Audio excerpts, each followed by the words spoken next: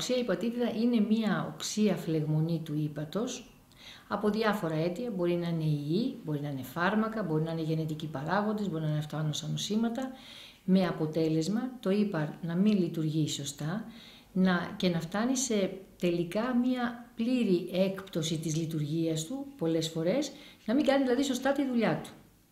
Είναι μια λοιπόν οξία φλεγμονή που συνήθως εκδηλώνεται με μέτους στην αρχή με διάρειες, με πόνο στην κοιλιά, με πυρετό, με εξάνθημα. Όμως, στο δεύτερο στάδιο, που εκεί πια αρχίζει ο πραγματικός συναγερμός, έχουμε αποχρωματισμό κοπράνων και έχουμε και υπέρχρωση ούρων, δηλαδή πολύ σκούρα τα ούρα μας. Τι, τι διαφορετικό έχει αυτή η πατήτηδα από τις γνωστές υπατήτηδες. Σαν ε, ε, συμπτώματα, καμία είναι ακριβώς όπως μια οξία υπατήτηδα που θα μπορούσε να οφείλεται και στους ιούς της υπατήτηδας. Δηλαδή, υπατήτηδα Α, Β, σε. Το τρίτο στάδιο, που είναι το πιο σημαντικό, είναι ο ύκτερος. Δηλαδή, αρχίζουμε το δεύτερο στάδιο και το τρίτο πάντα είναι ο ύκτερος, δηλαδή η κυτρινίλα, που εκεί πια τα πράγματα αρχίζουν και γίνονται αρκετά σοβαρά και χρειάζεται νοσηλεία.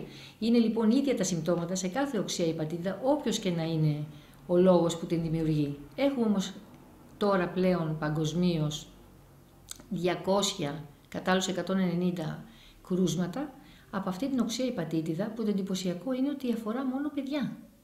Δηλαδή από ηλικία ενός μηνός μέχρι 16 ετών που είναι και το όριο της, έτσι, της παιδιατρικής ε, φροντίδας. Ναι. Δηλαδή μόνο παιδιά προς το παρόν. Αυτή τη στιγμή στη χώρα μας δεν υπάρχει κάποιο κρούσμα. Όχι, όχι.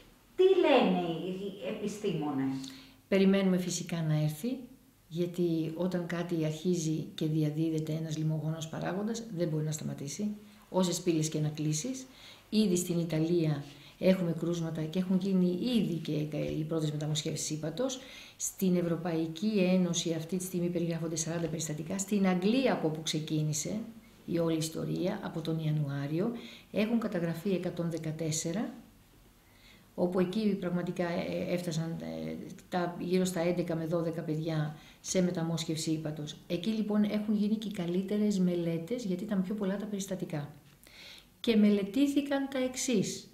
Ανοιχνεύτηκε στο 77% ένας αδενοϊός 41, ένας κοινός ιός που υπάρχει και υπήρχε και που προσβάλλει κυρίως παιδιά με συμπτώματα από το ανώτερο αναπνευστικό. Όμως αυτή τη φορά έγινε πολύ πιο σοβαρός, πολύ πιο λιμογόνος και πολύ πιο επιθετικός στο ύπαρ. Τι σχέση έχει με τον κορονοϊό η λοιπόν, οξία.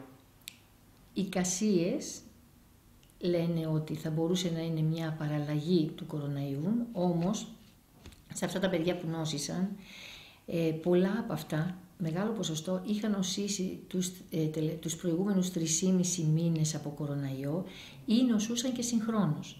Υπάρχουν λοιπόν διάφορα σενάρια. Το ένα είναι ότι έχει εξασθενήσει ο οργανισμός, πολύ καλό σενάριο αυτό, από μία πρόσφατη νόσηση από κοροναϊό. Το δεύτερο ότι είναι ήδη εξασθενημένος ο ξενιστής, δηλαδή το άτομο ε, και όταν έχει μια διπλίωση, δηλαδή και κοροναϊό και αδενοϊό ε, συγχρόνως. Το τρίτο είναι να αρχίσει μια επιθετική μετάλλαξη του αδενοϊού, να αλλάζει αυτός ο ιός, ο αδενοϊός 41. Αλλά όσον αφορά για τον κοροναϊό, δεν έχουμε επίσημα δεδομένα, απλώς αυτά που έχουν ε, μέχρι τώρα ανοιχνευτεί είναι ότι πάρα πολλά άτομα από αυτά που νόσησαν είχαν σχέση με κοροναϊό, όχι με εμβόλιο. Να πούμε ότι η συνήθιση ηλικία είναι 3 με 5 ετών, όπου εκεί ούτως ή άλλως δεν εμβολιάζουν τα παιδιά. Τι μπορούν να κάνουν οι γονείς; Οι γονείς λοιπόν, πρώτον να είναι ψύχρεμοι. Δεύτερον, όταν υπάρχουν συμπτώματα όχι ίωσης με λαιμό και συνάχη, αλλά ίωση με συμπτώματα από το, από το γαστεντερικό, να είναι λίγο σε εγρήγορση.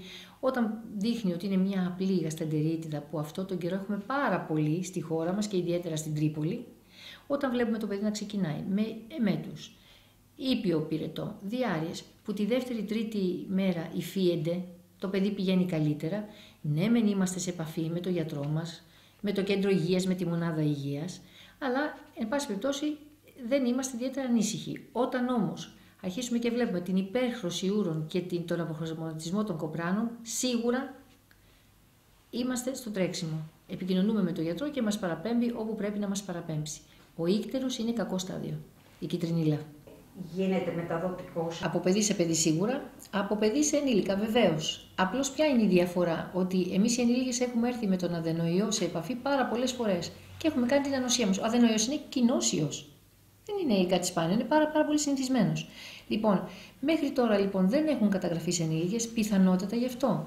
Επίσης, ένα πολύ καλό σενάριο που έχουν πει οι καθηγητές μας είναι ότι επειδή ακριβώς λόγω του εγκλισμού τα παιδιά αυτά των μικρών ηλικιών ουσιαστικά ήταν στήρα μικροβίων, δεν είχαν έρθει σε επαφή με κανένα λιμογόνο παράγοντα, ούτως ή άλλως, αναμέναμε και έτσι έγινε ότι οι διάφορες ιώσεις θα είναι πιο επιθετικές. Πολύ πιθανό λοιπόν τα παιδιά που λογικά σε μια άλλη εποχή θα είχαν έρθει σε επαφή με τον αδενοϊό, δεν ήρθαν στην ώρα τους και τώρα αντιδρούν ε, λίγο περίεργα. Είναι ο ιός πιο επιθετικός, είναι τα παιδιά πιο στήρα σε, και πιο, ε, με, μειω, με μειωμένη άμυνα απέναντι στους ιούς και στα μικρόβια και γι' αυτό μπορεί να γίνεται όλο αυτό. Πρακτικά υπάρχει κάποιος τρόπος προφύλαξης και επειδή θα ανοίξουν και τα σχολεία σε Και αυτό είναι, είναι άσχημο αυτό το σενάριο.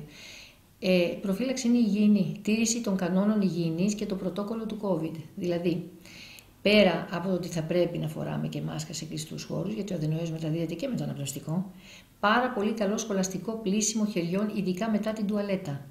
Καθαρισμός επιφανειών, καθαρισμός κοινόχρηστων χώρων, γυμναστηρίων, φυσικά της τουαλέτας, φυσικά των, όλων αυτών των κοινόχρηστων, της κουζίνας όπου τρώνε τα παιδιά. Και μην ξεχνάμε ότι ένα παιδί με ίωση, αυτό ήταν ανέκαθεν, τώρα είναι ακόμη πιο ε, επιτακτική ανάγκη. Και ειδικά με συμπτώματα γαστεντερικού, μην πηγαίνεις στο σχολείο αν δεν είναι καλά ή στο σταθμό ή οπουδήποτε. Αυτό το παιδί δεν είναι για να συγχρονίζεται με άλλα άτομα όσο είναι άρρωστο. Καλό είναι λοιπόν να απομονώνεται, να απομονωνόμαστε.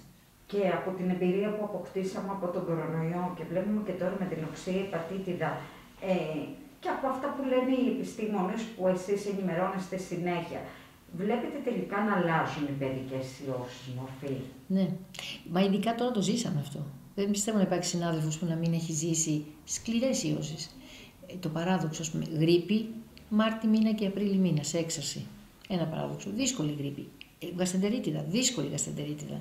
Λοιμώξεις αναπνευστικού, δύσκολες.